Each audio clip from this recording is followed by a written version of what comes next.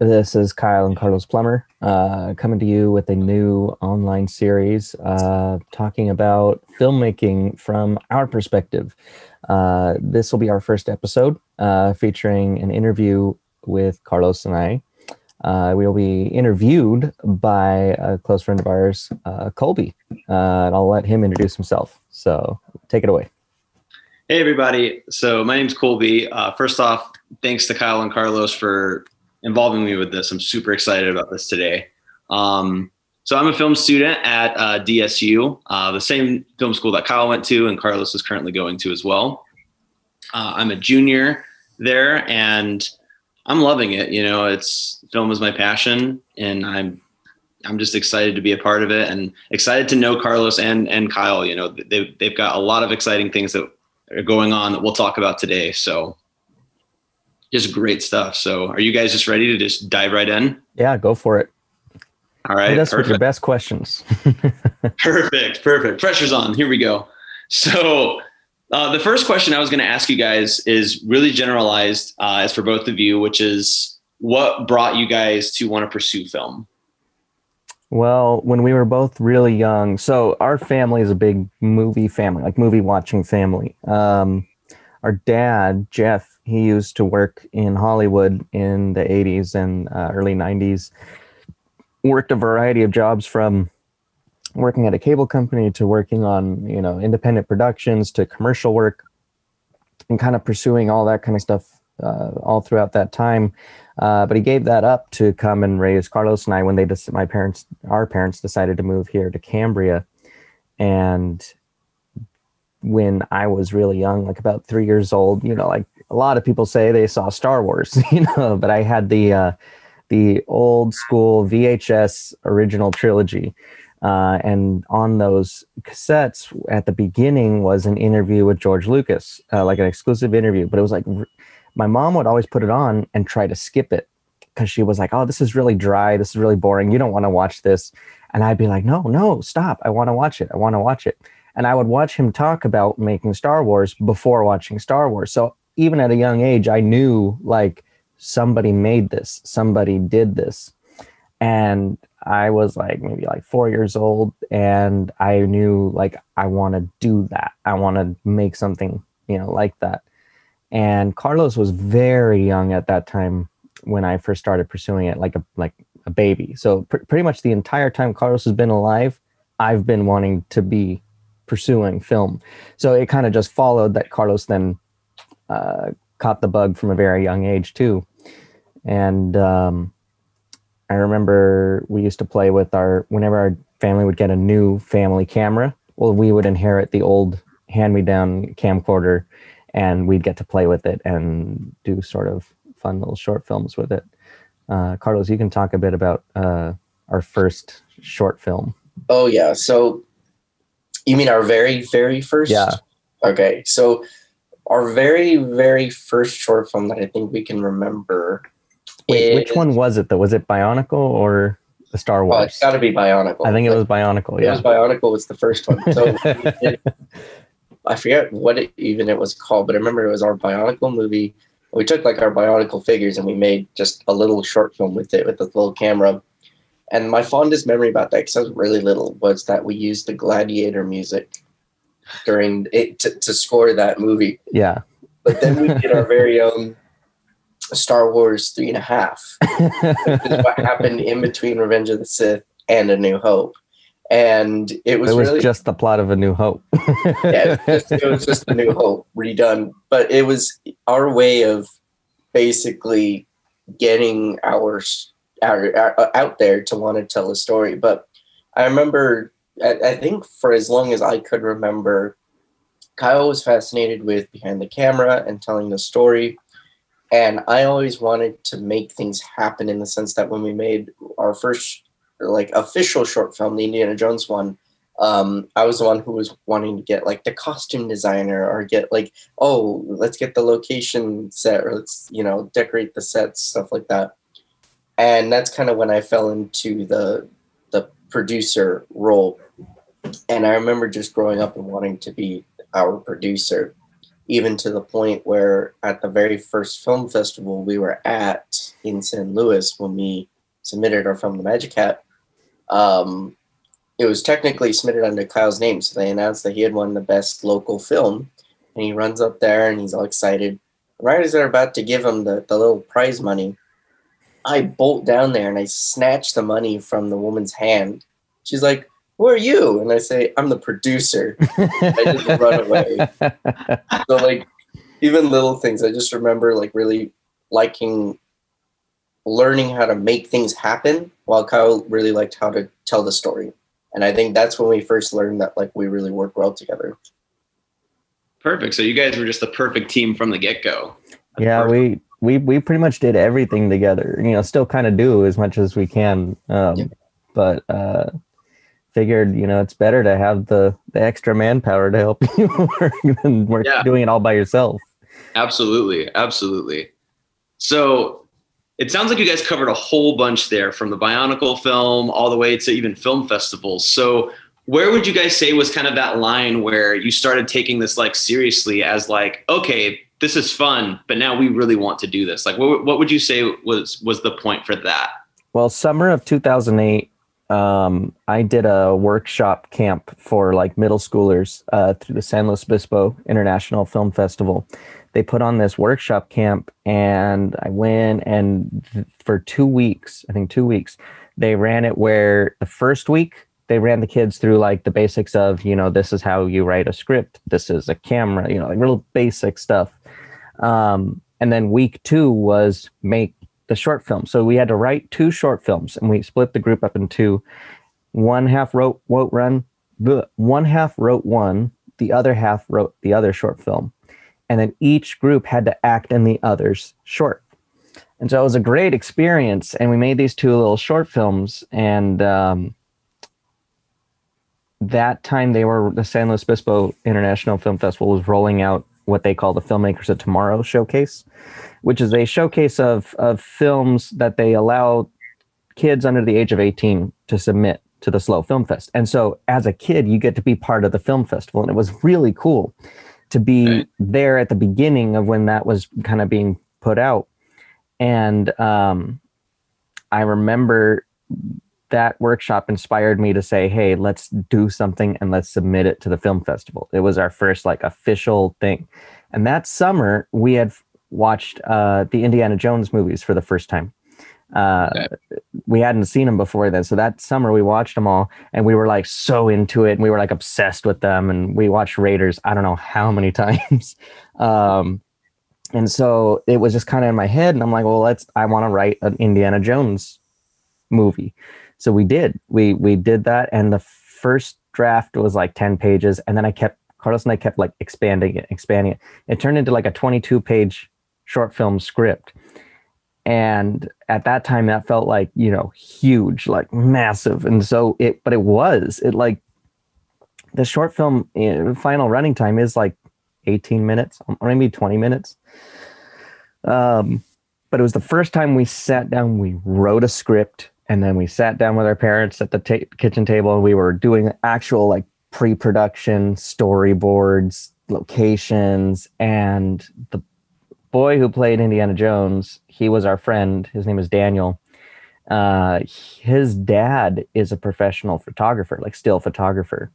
And uh, he does did some video on the side and he volunteered to be our our cinematographer and let you know let us use let him use for our film his his camera equipment and that was that was the best like launching learning experience like we could have even asked for because he carried that aspect of it and allowed us to really focus on making you know the movie happen and we just cast our friends at the time people from cub Yeah. scouts and uh, people we knew from school and stuff. And Well, I it was just a good first- time. the first draft of the script well not even the first draft like even towards the end like it was crazy. Like some of the we had Like, to tone it down. Yeah we had to tone it down to make it like actually reasonable. Like there was originally like the the heavies the heavy characters they were gonna be um adults. Oh yeah And- that's right and we are gonna have the scene be because Indiana Jones and Marion were gonna be kids, so we're gonna have them chase him through like a park, because I think like this whole thing was like about like Indiana Jones, but we were playing on the fact that he was like a kid, and so they rode bikes and and everything. But the funniest thing was that there was a truck chase, and that was the one thing that we kept in the movie. Because there was a huge bike chase. I remember originally, but we ended up doing a truck chase. But we had to. The kids couldn't drive, obviously. so we would play around with the shots where our dad would be driving and Indiana Jones would be riding on his bike.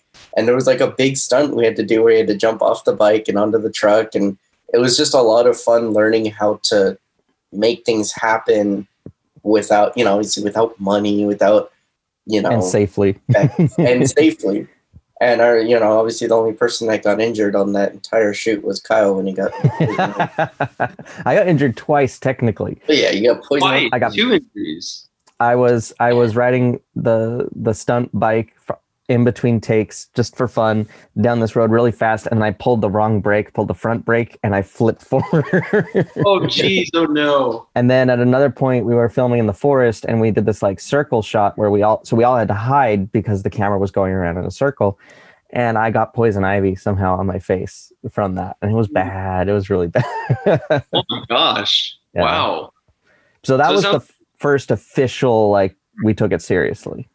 So this sounds like it was a big production even for that time then. It, it was. In fact, for for our early stuff, it was one of the bigger ones we did. Okay. That sounds familiar, you know. Um definitely I remember my first production at this is just a side note, but I remember Yeah, yeah, go for it. at Dixie was kind of a similar situation. I was I had the fortune of working with Carlos and it was an idea where we were like, yeah, we can do this. And then we we start doing pre-production and we were like, well, this is bigger than we thought. Yeah, yeah. No, and and that's the hazed fire, right? yeah, yeah, that Yeah.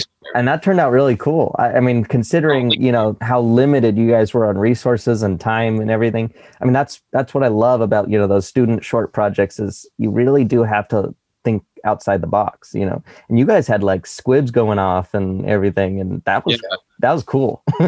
well, and uh, see, hearing your story and and and knowing my story as well, it's it's fun getting big experiences like that. I think as like your earlier experiences because you really kind of get like it's like a trial by fire. You kind of just get thrown in, and you're like, okay, this is all the stuff you got to figure it out, and you got to you got to do it quick. But but it's I feel like it almost prepares you more for what's going to come as you enter the industry. You it's know? the best way to learn. Absolutely.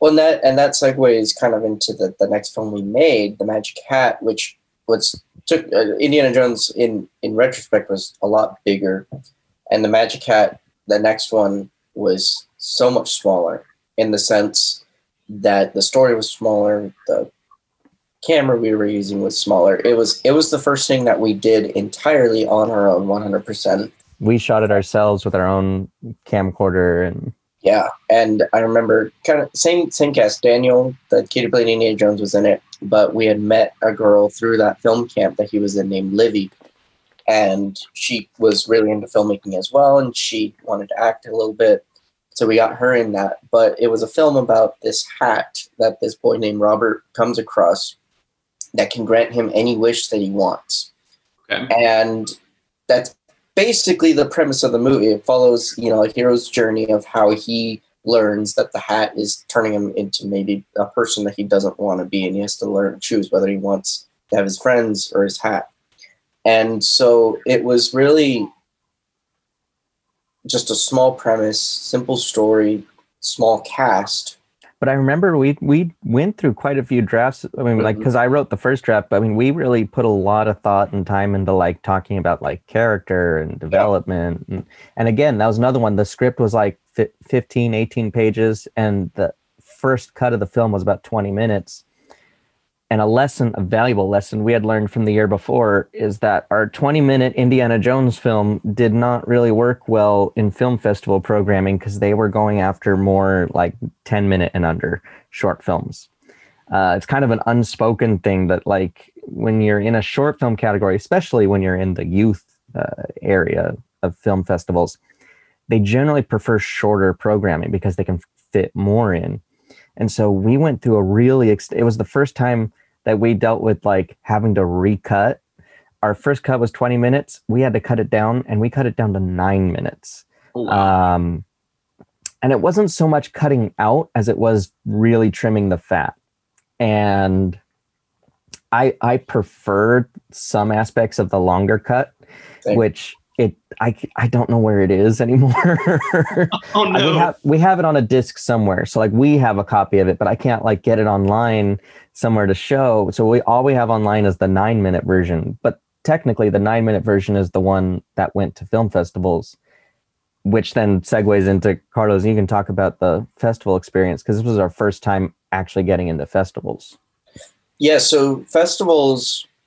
I remember film festivals came about because of our our dad was, or mom and dad were basically telling us, and our dad especially because of his experience, kind of in the industry, knowing how festivals work, and our mom's experience, kind of in the legal side and the and the more paper, the paperwork heavy side, and that like if you want to get your film out there, if you want people to watch them, film festivals is one of the best ways to do it because you can put your films online and people will watch them. But if you want to have like some respect to them, then obviously like a film festival. And so this was around the time when film festivals were changing because they were starting to add more and more student and youth categories. This was perfect Yeah. because you know we weren't about to submit our movies into festivals with you know big budget adult made movies. I mean that that would just be unfair. And so we started small. We started locally with the San San Luis, Luis Obispo International Film Festival, and they had a youth uh, the filmmakers filmmakers tomorrow. tomorrow showcase, and it was a youth filmmaker showcase, but it was international. So they had films from like Australia and New Zealand. Really, really cool uh, showcase. And this was the first time we had gotten into a festival, and it was a big deal for us. We went, we brought all our friends, brought the whole cast and stuff like that, and we, we made a big, big day out of it. And I remember Yeah, we a lot of won the best best local film. So they would do, they would screen all the films and then do the awards right after. So we won best local film, stole the money, and then um, it was just it was just a great experience, and it was one of those things that was like super fulfilling. And was that the day we watched Avatar too? Yeah, it is. Yeah, I remember we watched Avatar in the theater that day. So it was just it was just a really good time. But I remember the main takeaway from that was that we really we wanted more of that. We wanted more of those kind of fulfilling experiences and to get out there more. So there was this site called Without a Box, and it doesn't really exist anymore. But It was the a- precursor to uh, Film Film Freeway. Yeah. okay. Yeah, it was it was the old film freeway, and I remember you would just set up your film and you could digitally submit to film festivals via catalog. And we submitted to a bunch. I remember we submitted to like the Santa Cruz Film Festival, um, Chicago International Children's, and they were festivals with like very low submission fees and for youth oriented. at excuse me, and we made it into Chicago. And we were like, Chicago "Oh, International Chicago International Children's Film Festival. As a side note, they're a really cool film festival, and especially at the time they were uh, on their like 25th year or something like that. They were a festival specifically for not only child-produced films, but films made for a younger audience. They were the film festival that would almost guarantee if you were an adult filmmaker and you had like an animated short film, they were the festival that would get you Academy Award qualification for animated shorts. We met two filmmakers who had animated short films there, who they went on to become Academy Award nominated animated short films. and winner. Uh, and one of them won.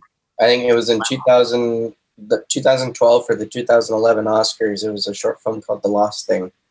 And then And- and then there was uh, Jakob Schuh as well Yeah, for the Gruffalo. for the It was Gruffalo. a, a short that they turned into a feature.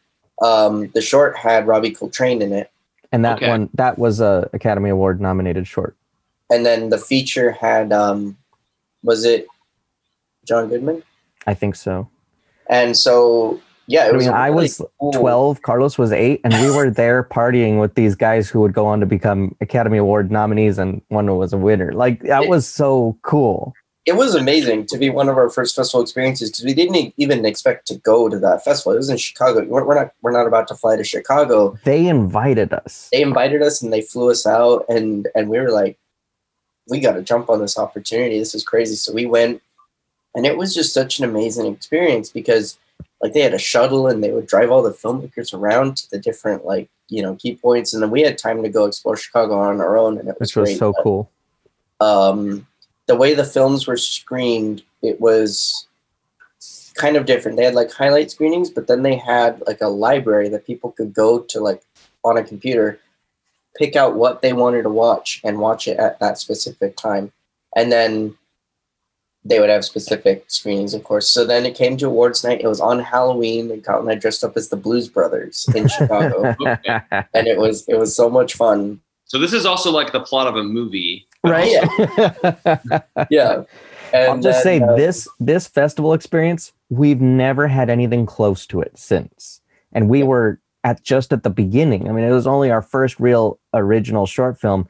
Since then, we've never had an experience like this. It really was magical. Like So, so the wildly unrealistic expectations were being set really, really, really early. yeah but then No, we, it was a great time. we won first place best child produced film there for Okay. magic hat Picked And by a children's jury, like a, a jury of of children uh, viewers. Yeah. yeah so that was that was the best experience we've had and honestly it kind of it may have set unrealistic expectations but for me it honestly made it like this is what we could like this is like a peak you know for what we can do let's keep doing this Yeah. you know, let's keep making movies so that was kind of like that spark that was like, this is where it can take us. Right. Let's do this. Absolutely. Perfect. Well, and segueing off of that, I've, I've, I'm aware that you guys have been in several film festivals all all over. You know, Chicago. You, you guys were at Doc Utah, and I guess that kind of segues into school. It sounds like you guys came from a really film centered based community out in San Luis Obispo. You know, you, your family, all these people were super supportive and the film festival out there. So, what was it that brought you guys to want to come to DSU to pursue film school? Well, um, to kind of highlight one thing you said there, yeah, the SLO Film Festival, uh, San Luis Obispo Film Festival here, that whole community has been real supportive to us, and we've been doing their um, videos for. We we go to the festival every year and film the entire week. We've been doing that for like five or six years, but having that community supporting us here has been really instrumental.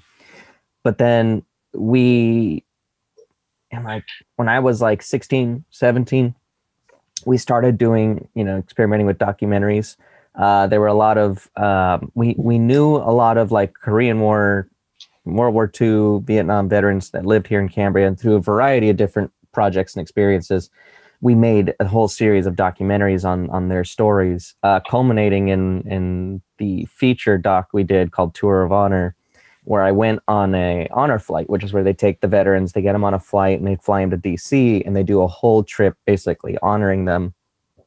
And it was very cool. We did a we did a documentary on that. that those documentaries led us to excuse me find DocUtah because we were looking for you know documentary specific festivals. And the first year we got into DocUtah we had our korean war short film and we didn't go. They they did let us know hey you're in DocUtah but we were like eh, we don't need to go. That's that's it's fine. Because we didn't go to all the festivals that we got into. Um we only went if they made a specific point to say, hey, we really want to invite you. Well, the second year we got into DocUtah, which was my junior year of high school, um, we had two short films in DocUtah.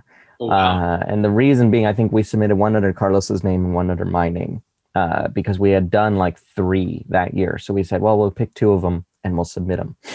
And they two of them got in, and they were like, hey, we really want to invite you guys out to Utah. And we're like, well, we've never been to Utah. Why not give it a shot? We did. We made the trip out. We did the film festival, and Phil Tuckett, who was who was running it, he comes up to us and he goes, "Oh, you guys are the ones who did those short films. I thought you'd be older." he didn't realize that I was still in high school and Carlos was, you know, still in middle school. So he was really impressed and he took the opportunity to basically invite me to come to school there. And through that that whole trip we were there, he took us on a tour of the film department and I met Ben Brayton and um, I kind of just fell in love with the idea that Phil was like, you know, within your first semester, you'll be holding a camera, kind of a, a deal. And I was like, mm, that does sound nice. That does sound cool. And I thought about it a lot. And I had other plans at the time, but I made the decision no, I think this is what I want to do. And I'm really glad I did because he wasn't lying. My first semester, I was, you know, in Phil's class, the same class you guys did Haze Fire. And um, I was in that class and I did a short film and it was like immediately right away working on stuff and that was such a great experience and i think carlos just ended up following because of the experience i had and he saw that i really liked it so Yeah. uh, through happenstance that we just happened to go to this film festival um, yeah we discovered the school and now we're now i'm an alum I think, uh, yeah, I think my decision. Well, I think the original plan was to do like two years of community college at Allan Hancock in California, which has a film program. So you get an associate's in film, film and then you would go for another two years at cal uh, poly Cal Poly and get a, a bachelor's in business, hmm which, to be honest, isn't the worst kind of combination because it kind of fits what we wanted to do. But So that's what you both were thinking of doing was that honestly yeah because you can get the community college covered with you know living where we are in the central coast. They, they offer grants and scholarships and then we could work those two years to work to live uh, go to school at cal poly. We, we wouldn't even have to live on campus because we're we live basically right there. So that was our original plan but this was just so enticing not only because of you know me seeing what kyle was doing but also because of the price point. because compared to a lot of other film schools, it's it's very very affordable, and the scholarship opportunities were were crazy.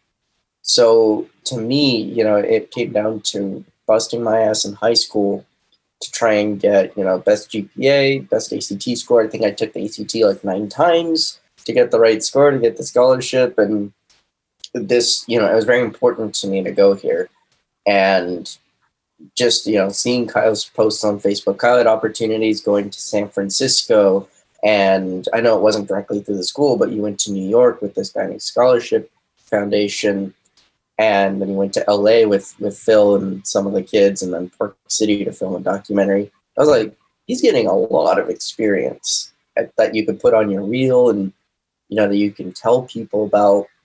And I'm like, I want that. That, that that's what I want. And sure enough, within the first year, you know, I'm going to Memphis with the documentary crew as for a class. And so I'm like, well, what are the opportunities outside of class? So it was just way too enticing to me to give up. Okay, perfect. So two questions that I kind of want to like. I guess one more more is more, one is more like a remark. So I guess I'll start with that and then go back kind of backtrack towards the question. The remark was kind of seeing hearing all these stories that you guys sharing about you know Kyle's experiences that you were seeing at DSU that was honestly like something I didn't even know about until I was at DSU for a while. Like I moved down here to St. George. Um, my wife and I we moved here in 2016, and I didn't know what I wanted to be at the time, and so I was kind of just you know switching majors, taking classes. I didn't even know there was a film program there. So Kyle's over here doing all these crazy experiences at DSU, and I had no idea what was going on. And I remember I finally found out about the film program. I talked to my wife and got into it. And meeting Kyle in that first class with Tisa, I oh, never Oh, yeah. known that that was going on. It wasn't until the end of that class when Tisa started sharing stuff with me when I was like, hey, I want to get more involved, where I kind of opened my eyes and I was like, wow, there, there's all this stuff going on. And it's really kind of crazy what, you know, the amount of opportunities that are still available at that university in the film program. You know, it's it's insane. Yeah. But um I guess my next question was going to be more aimed towards Carlos because we, we kind of heard Kyle's journey to DSU. And I know, correct me if I'm wrong, but I feel like becoming rich was also maybe part of that, if I if I assume correctly, because you did that in high school as well, right, Carlos? Yeah. Okay. And that Yeah. was Doc Utah as well. It was so. So Utah really kind of was our journey into into DSU, and one of the things that I remember was not only Kyle getting recruited by the legendary Phil Tuckett, but um, um, basically seeing other student films there. And there weren't many high school student films. There were quite a few college student films, like College Thesis or even just college produced stuff. But basically, being at th- there's some being at a festival as a filmmaker. It's a sense of excitement that you have where you're like you're desperate to want to talk to people and say, "Oh, go see my movie," or "Oh yeah, I have a film here." It's less of a thing of like, "Oh yeah, I'm a filmmaker." Yeah, look at my badge. I'm a filmmaker, and it's more like, "I'm a filmmaker. I have a movie here. I want you guys to see it." And so, one of the things that I got excited about was making something that will be worthy of being at this festival. And so I made the first documentary I made on my own. So Kyle went to school in 15 and we had we were still promoting our two documentaries that we had made before. Through the veteran organization, I met a I'm just gonna call him I don't even know how to describe him, but he was a Tell a veteran. story. Yeah, he, he was a veteran, and his name is Harold Bauer. To me, he's like a legend. He's like an icon because Harold Bauer is a German American. He was born in Germany and flew for the Luftwaffe in World War II.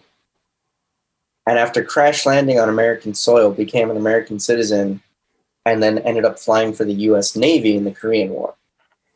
And so the documentary, I, I felt like this story is too good not to tell and he also lived worked in um, united press international and he worked kind of in the film industry and like licensing and such.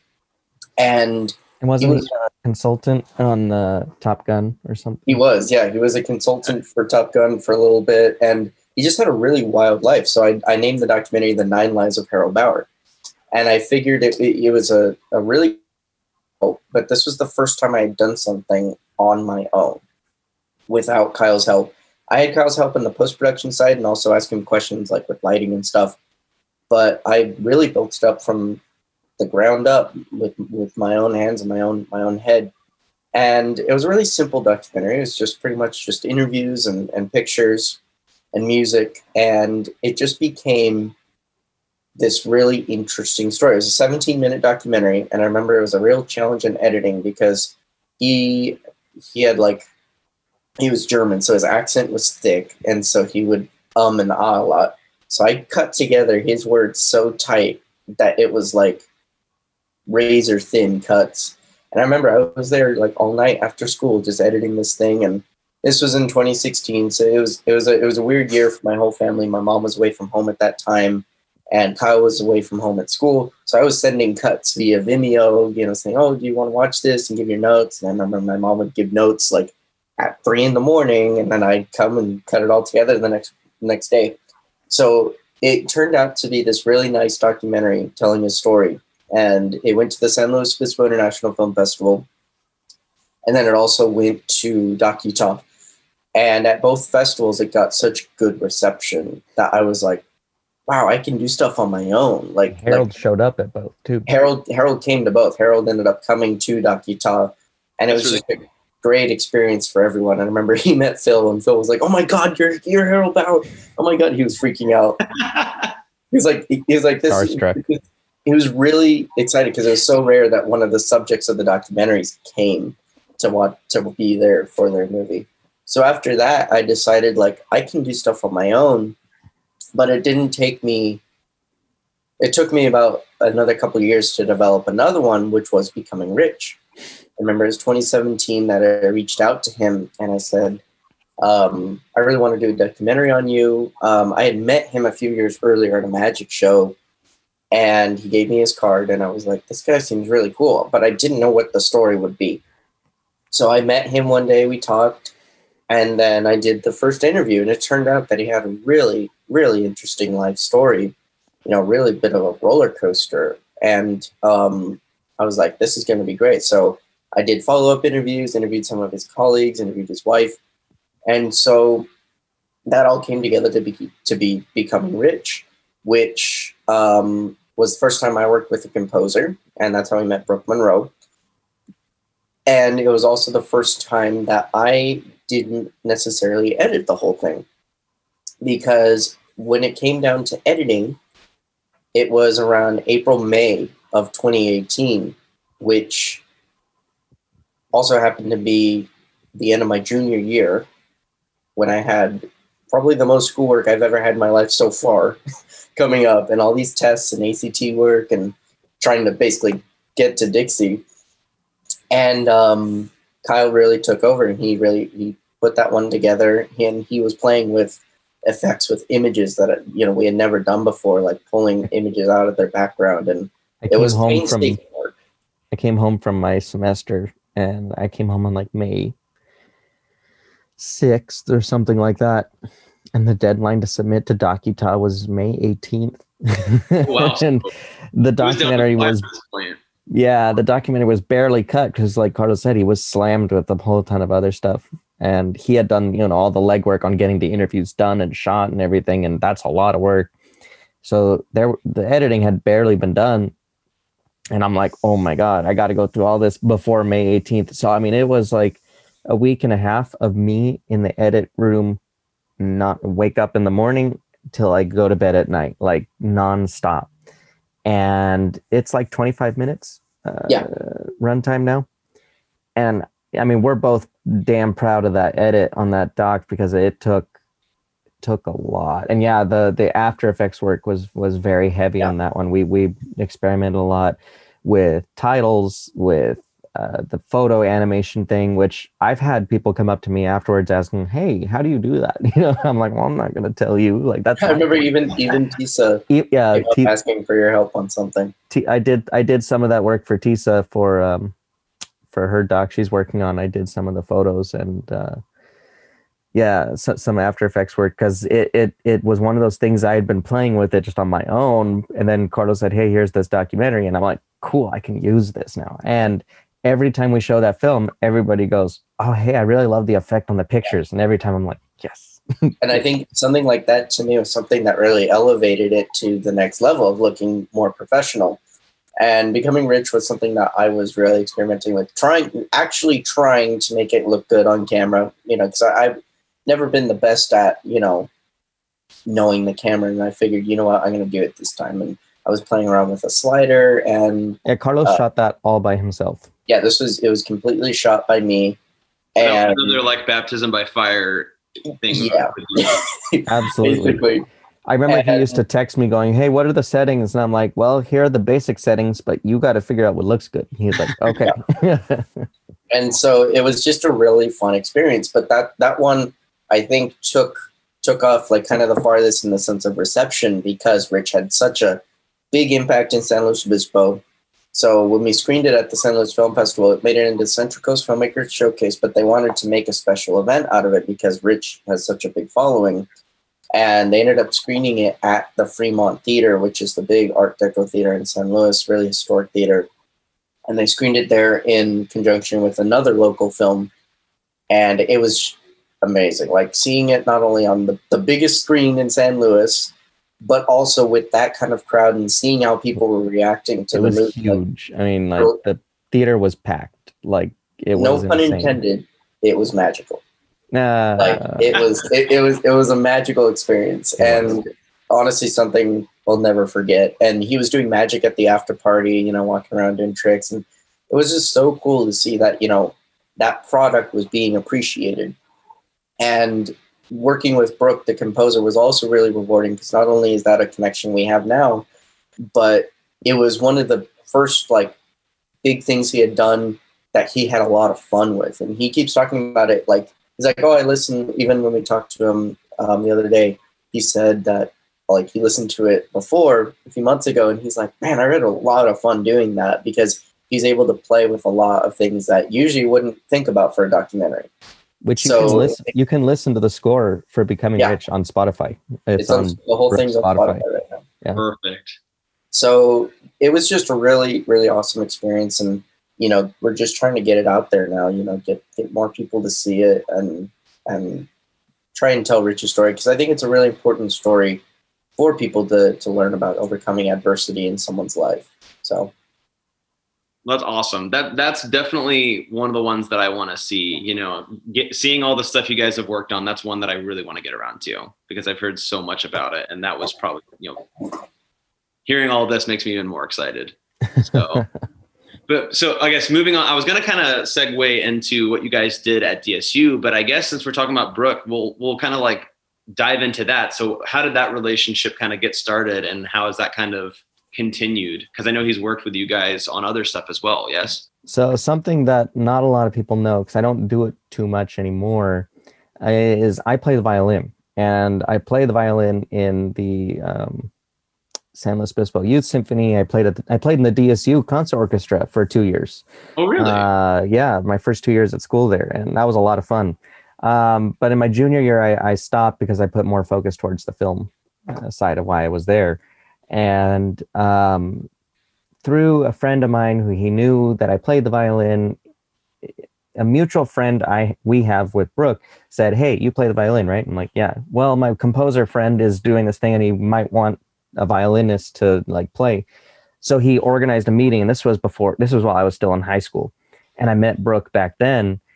And the project never, never actually went through. I never actually played for him, but we stayed in touch. And um, I, we kept saying, "Oh, hey, we'll work on something someday together." And he's like, "Yeah, that'd be great," because he was trying to build up like a like a reel, like of stuff that he could showcase. Well, becoming rich was like the perfect opportunity to say, "Hey, let's actually work on something together," instead of just always saying, "Oh yeah, we should do it one day." And we got together, and he did it, and it, it was such a cool creative experience for us with him because we had to put him through i mean a gamut of different styles. Like the the score for becoming rich is not one limited to one style. There's like electronic there's like rock there's like um you know more orchestral like there's everything. It kind of encompasses the whole the whole spectrum. And that experience just solidified that hey we really like working together. And he then when i did sarah um he was all in on that. And that was another experience that it just like really put him pushed him to you know his creative limits because it was unlike anything he had done before. And i think that's kind of what we are you know looking for with everything we do is like we don't want to do the same thing again and again. We want the next one to be okay what can we do to expand ourselves? And um, working with brooke that way it, it allows us all to be in that mindset That's awesome. Perfect. All right. Well, kind of moving towards those bigger projects. One last question I wanted to ask before we dive into the big one is what are some of the things that both of you, both Carlos and Kyle, you have done at DSU and the film program? Like, what are some of your favorite accomplishments that you've done? i'll let carlos go first Um, so I think some of the, I mean, obviously I'm just I'm baby right now, so I'm I'm still I'm still getting there. But some of the big the best things I think that have happened are like in my freshman year, so much happened, and that that to me was mind boggling. With the football documentary, you know, getting to go to Colorado twice to, to film that. and film basically all the games here and just kind of really play around with the, all the different types of equipment, even to working on, I think, three, no, two capstones. I've worked on two capstones. Uh, Lane Palmer's Stickity Tooity Okay. as I was a sound engineer, and then Mateo's uh, capstone, which isn't quite finished, but I was the AD on that. So just working on different sets, being able to do that, Gentry music video. There's all the different opportunities coming up. Those are really big experiences. I think some of the highlights though were obviously like our film, The Haze Fire, to me, that was just awesome. Being able to come together as a big crew and make something like that happen. And not only make make a product that we're all happy with, but make a good team and have as much fun as we did in the process. Like that was so much fun. You know, Yeah, just thinking back was. on it this last semester, like, oh man, last year we were working on Haze Fire and all those editing days. And and then the the Memphis trip, the, Into the Fire documentary, which I'm not sure the status of it right now, but all I know is that that trip that we went on was absolutely incredible. And it's something that like I would do again in a heartbeat if something like that comes up. Because being able to travel cross country with a crew and tell a story that when where's the story here? But there's just so much that we got. And, you know, being the sound guy was just really stressful and really cool being on Beale Street running around with a boom pole and a mixer bag, just, you know, bumping into people and asking people to speak into the mic. But it was just it was just a lot of fun and honestly like I would love to go back to Memphis sometime. But yeah, those two experiences to me were big highlights and I'm just looking forward to whatever whatever else comes up, including um, Gizmo, which looks really promising. And uh, just so stoked about that. I think Awesome. one of my favorite uh, like accomplishments uh, is is uh, it's something that kind of just happened. I didn't like set a goal for this, but it kind of just happened. Was that I have one short film from or one yeah no one short film from every single year I went to school there, and uh, I'm I'm proud of them to varying degrees. Mainly because you see I see my growth through them uh, and two of them I'm I'm extremely proud of are the There She Was and Nikki. Those two, um, I've taken around to some festivals. They they didn't like go far or anything, but I'm proud of them. I I, I feel really happy with how they turned out, and having that experience of just constantly being able to work and create that was huge for me. Uh, and then Carlos mentioned, yeah, Phil took me and um, a couple other students for uh, some other opportunities. One in Park City, one in San Francisco. San Francisco was through the whole NFL uh, connection thing, and we actually got to go like on the 49ers stadium and um, on the field and film some of the rehearsals for the halftime show. And then we got to film in the streets of, of San Francisco with a camera car uh, for a car commercial with uh, Genesis, and that that was just a really cool experience. You know, like as a young film student who was just at the beginning, you're on this crew that's doing an actual professional uh, car commercial, and they got the camera car out. That was cool. um, and then, of course, you know, like you mentioned, the big one. That was that was the the big one. Sarah, she uh, she happened at DSU. So yeah, I guess that's really the big one that I've kind of like trying to build up to is Sarah. Um, had the fortune of watching that recently with Carlos, and I I was really impressed. I was immediately blown away. Before we even get to questions, I just want to say bravo on that. That was Thank you. it's Just- uh, it was quite an experience, that's for sure. Um, anything you want to know before I just kind of like dive into it? So I guess there, there were a few personal questions I was wanting to ask. Was like one one of them was I was wanting to know about location because where I, where I work right now, kind of just as my part time job, balancing it with school, is I do a lot of carpet cleaning. So I get to kind of see a lot of the area and a lot of different like housing areas. And Yeah. I was looking at some of these areas, like some of the locations, like Sarah's house and things like that. And I was wondering, like, have I seen this place before? Or have I not? Like, do you remember those locations of where those were shot? Or Oh yeah, absolutely. So without you know spoiling anything, um, the main the main house uh, was actually where uh, our costume designer Rosalind uh, lived. Um, she's since moved to New York, but she lived with her mom there, and it's we were doing pre-production, and we were it was me and uh, Coyote. Uh, he was like my my right hand man on that movie, um, and Rosalind were meeting about costumes and stuff. And at the time, I was like really stressing, like, man, we still haven't found a location for the house. And she's like, well, you could you could always use mine.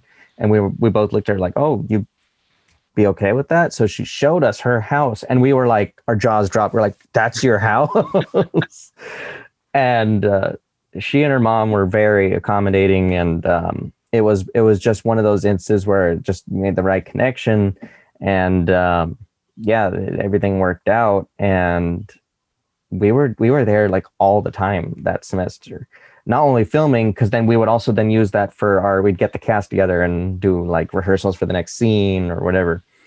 Uh, it was a nice hub area. Um, and it, it it was a trek to get to but once we got there we just kind of set up shop and would work for like a weekend.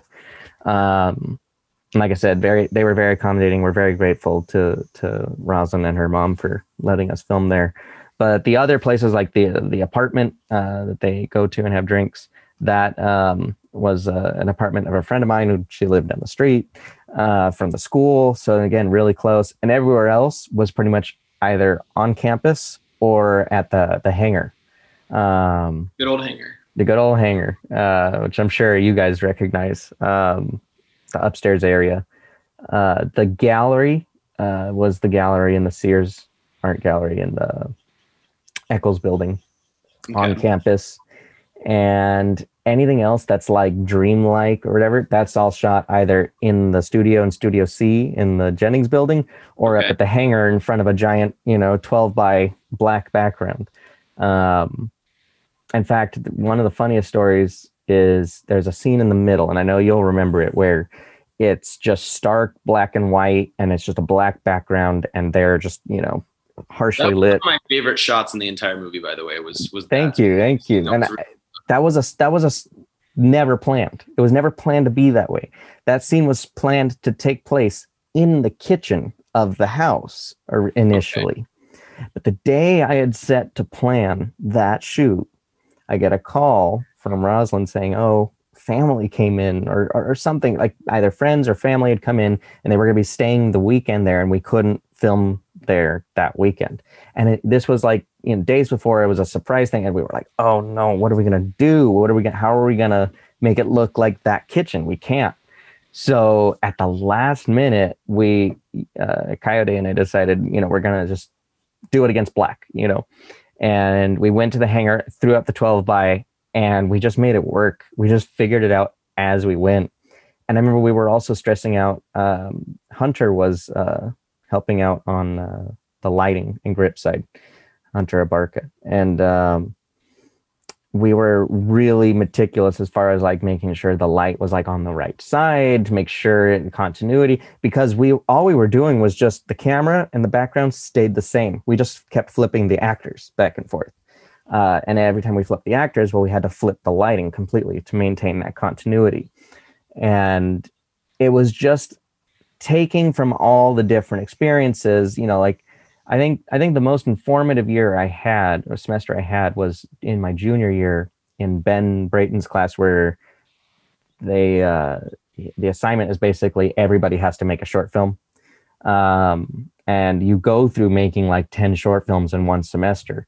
And so you learn really fast how to find solutions to things really fast because you don't have time because you got to get to the next shot because you got to get to the next short film you know?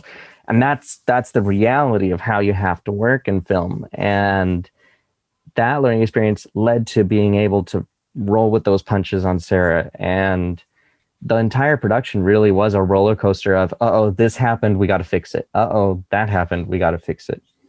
Um yeah again i could i could go on forever so you you guide me here I was about to say, yeah, I, I, that's a kind of a cool story to kind of like, again, without spoiling it, that's kind of a cool story that kind of leads to something that I think is one of the best parts of the film. You know, this this happy accident of like, well, we can't make this location work.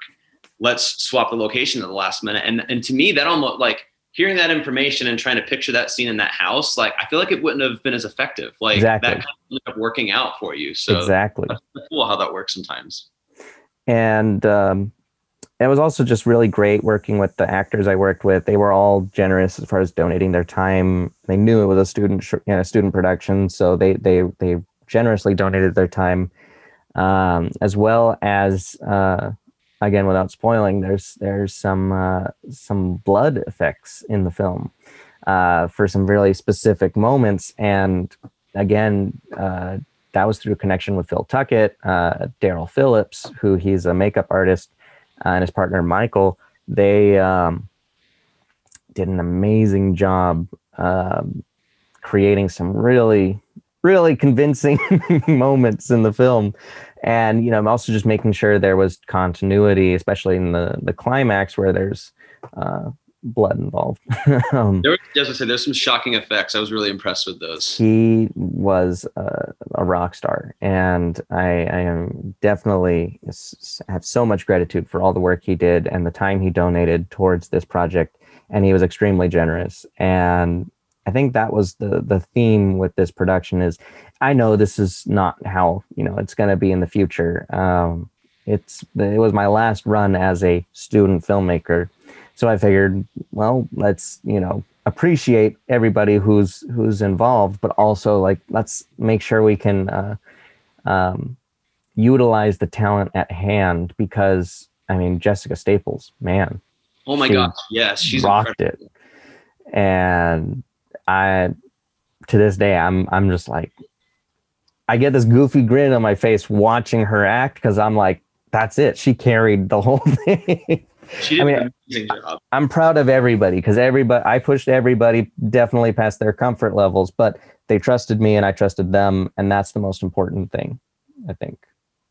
Awesome. So one last question I did want to ask about Sarah. I have to ask this personally because of my focus in school. I really want, you know, my goal is to be a screenwriter and eventually writer and director. Yeah. And I have to ask, again, being careful with spoilers, where did the story idea for this come from? Because Carlos and I sat on sat on these two couches in my house after watching it, just discussing like, okay, what just happened? What does you mean? But like like and I love endings like that. And as Yeah. a writer, they fascinate me. So like where where did the story come from? Well, it came from you know I get I get this theme a lot from a lot of people who are who write things they they they, all, they always get asked where did it come from. And I relate to their answer which is most of the time I don't know which is um it started I'll I'll tell you where it started. It started with the idea of the character of Sarah who she was. Uh Riley Ann who plays Sarah in the film. Uh, she's a friend of mine from the from my time at DSU, and she and I were really close. And she acted in a couple of the other short films I did, and one of them was Nikki, which was a short film I'm really proud of. Um, we shot it inside the the cafeteria uh, on campus, and um, while we were making that short film, she and I just kind of kept toying with the idea of a character she could play. Um, and we she's used to do like kind of sketches and she had a whole like kind of crazy wardrobe and in her closet and everything. And so we just kind of kept playing with, oh, wouldn't it be cool if there was this character you played? And she was a dark, edgy, kind of like semi-goth kind of character. Um, and so I started, I knew that for my capstone, I wanted to do something featuring this character we created together. Um, we didn't have a name for her or anything. We just knew her persona, her aura that we wanted to do. And she was going to be this rebel. She was going to be edgy. She was going to be, you know, but we were going to find some way to like break her or something like put have put her in a story where it would just break her. Um, so like the first couple drafts were like completely different, but there were elements that were the same. So like there was still definitely another woman who she was the other main character.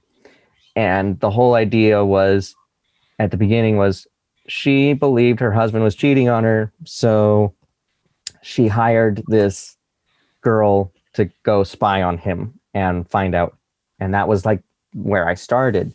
and then I started playing with you know for simplicity's sake I'll call the you know other woman Jessica. So Jessica, her character would have been a teacher at the school, and maybe Sarah was one of her students, and she knew Sarah was into like you know kind of some shady stuff, and she was into like hacking and whatever. So she would like hire her to go spy on her husband. So then it just kind of like kept evolving, kept evolving, and it I kept coming back to the image of Jessica waking up and being in a dilemma of is my husband cheating on me so those elements kind of stayed and then i just kind of kept going and it just kept i get to about page 30 and go nah this doesn't feel right. Nah i'm not liking this. This is too it's too contrived or too complex you know for being 30 pages in i'm already confused. Who's what's going on? Um and it just kind of became a thing of just like simplifying and simplifying certain aspects. And then i kind of procrastinated in my fall semester of my senior year i got really into still photography at the time and that took all my time. And i worked on a music video too uh, for a friend of mine. And then when it came to the end of fall semester i'm like oh i really got to finish the script because i got to get on you know making my capstone. And i knew i wanted to do it big and not just a short film because that's just me. I want to make life harder for myself. And that christmas break i just sat down and i said this is it. I'm just going to write it. I am not going to overthink it. I am not going to overly plot it. I'm just going to see where it goes. I have the ingredients. And i just went and it, it just happened. It's one of those instances where it just happened. And I'd like to say certain elements might have been inspired from certain events or people I knew. I can't even say so for sure. Um, I know there are certain elements that resonate with me based on experiences I've had since making Sarah, which is really bizarre, but it doesn't necessarily come from anywhere other than I knew this was a movie I wanted to see.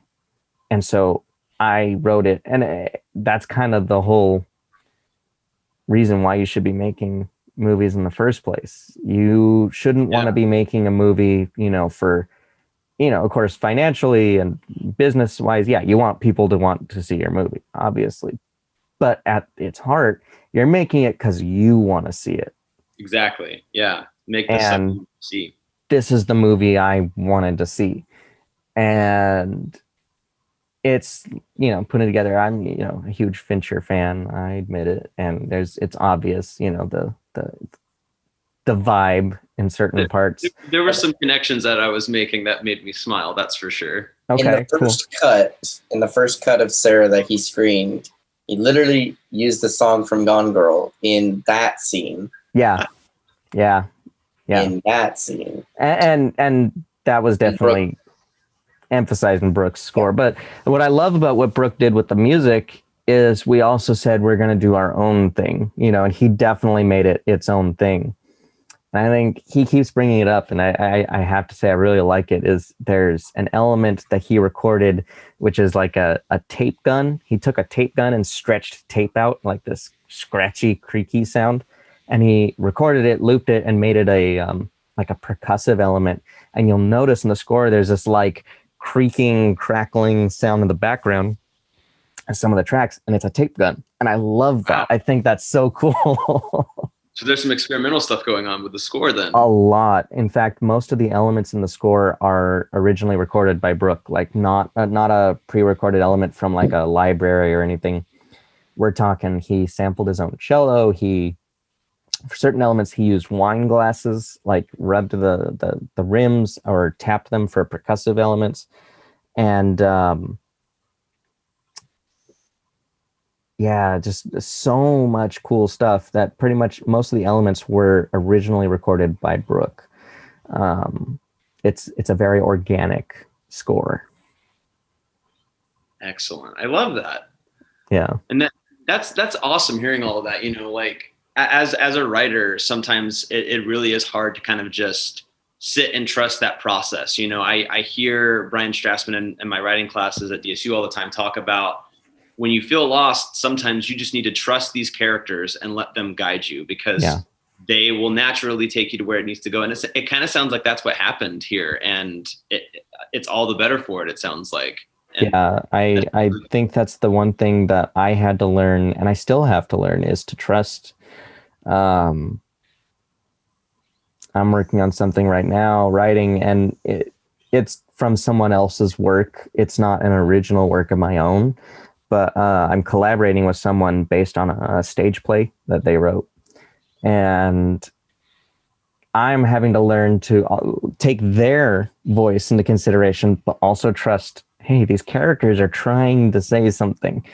And to pull that out of that, it's tough. It is. And I think, but I think it's a great learning experience too, because sometimes when I'm writing something completely original on my own, I get so wrapped up in my world and my thing I'm trying to set. It's really cool taking someone else's writing and their world they've created and putting myself in it because now I'm the objective third person point of view.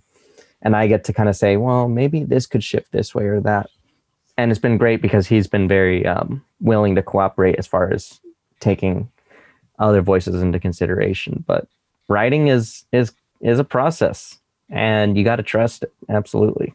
Absolutely, absolutely.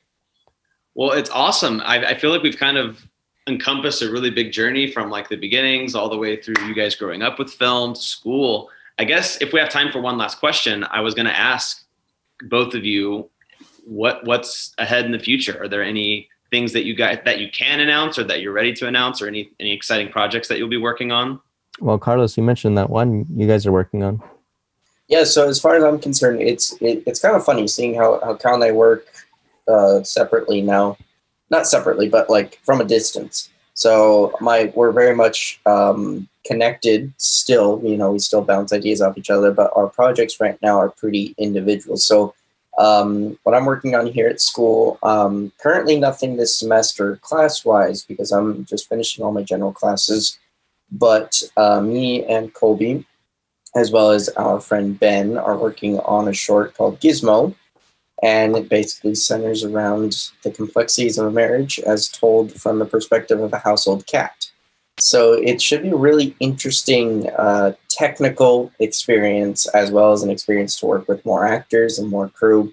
And I think it's gonna. It looks really promising, and um, I'll be producing that. And as far as this coming summer, um, Kyle and I are going to be working on a couple things, um, small projects, as well as we're keeping on uh, writing and working towards a bigger project that'll probably come to fruition within the next year or so. Yeah. Awesome. Yeah, I guess as of right now, um, being in a screenwriting stage, and like this is a new experience for me, not working on something that's original of my own. But um, mid 2020, we were reached reached out to by um, someone with a, a stage play that they want to be turned into a movie, and they reached out to us to, to, to write the screenplay. And we're on about draft three right now. And i'm waiting to hear we're, we're in the midst of like a back and forth with some ideas. Um, i think it's going to take uh, quite a few more drafts though. It's uh, it's a complex one. More from a stage of like not plot but character. It's very character driven and um, i think it's a good learning experience for me kind of take taking a look at character because that's my one like you know you look back at everything you've done before and you kind of oh i could do this better. And like sarah my one wish is i had more time to work on the screenplay because since i'm th- i think to myself oh it would have been cool to dive into this or to dive into that expand this whatever whatnot um because like i love plots i love structuring my writing in really intricate plots. Now I need to work on my characters, you know, really making sure that characters have different personalities and they're not just all extensions of me or my head. And, you know, recognizing those things is how you, you know, move forward and you grow. So, and other than that, some, we got some documentary projects on the way. We got a cool, um, like YouTube series style project we're going to be dropping sometime soon uh, episode by episode, um, chronicling some uh, unique personalities that live here in Cambria, uh, people with really cool artistic backgrounds. And then we have a larger documentary project about, uh, I can't say yet, but it's someone cool. Someone cool. Okay. Exciting. Um, who again he's a local, and uh, we're in the midst of that, as well as just uh, keeping up the paid work and uh, Yeah. you know doing promo videos. We're working with the SLO Film Fest again this year, and yeah, it's great stuff. Perfect. Well, that's awesome. That's exciting. Well, I guess that is all the questions that I had for you guys. It's been super exciting to kind of just get to pick your guys' brains. You know, ever since I've met you two, there's always interesting thing after interesting thing that I'm finding out that you guys are working on. So it was super neat to kind of just sit down and just, you know, shoot the shit with you guys. Yeah, thanks, Colby. We appreciate it. Yeah, thank you. Yeah, no problem. And to all you listeners and viewers out there, appreciate you checking in and uh, stay tuned for the next episode. We'll be out next week. Uh, thank you for listening. Thank you for watching. Uh, make sure to follow us on all social platforms as Be well sure as visit our follow website. Colby too. All right, make sure to follow Colby. We'll throw Yeah. his uh, Col- social Colb's on Gold there. Media on Colb's, Colb's Gold. and uh, make sure to check out our website, superimageltd.com. All right, thank you.